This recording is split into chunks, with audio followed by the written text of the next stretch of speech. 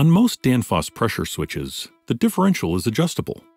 Please remember that a higher differential results in fewer switching cycles and a longer product life. In our example, we'll be demonstrating how to set up a Danfoss pressure switch for rising pressure applications. We've chosen an RT200 with a measuring range of 0.2 to 6 bar and a differential of 0.25 to 1 bar. First, remove the cover.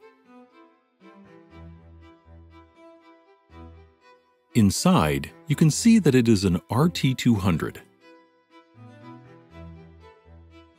And at the bottom of the switch, you can see the unique code number.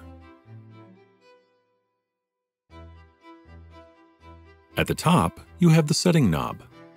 The range is set using the setting knob. RT200 covers the range from 0.2 to 6 bar. In this example, we will set the level to 3 bar.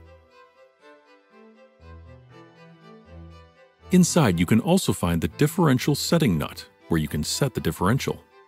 The setting nut scale goes from 1 to 10.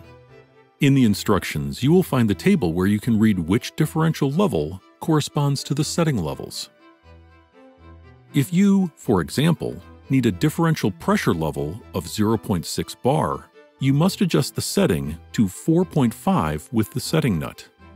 Let's look at the cutoff for rising pressure. When the pressure exceeds the upper set point, contacts 1 and 2 break and contacts 1 and 4 connect. When the pressure falls to the lower set point, the contacts change over to the initial position. Contacts 1 and 4 break and contacts 1 and 2 connect.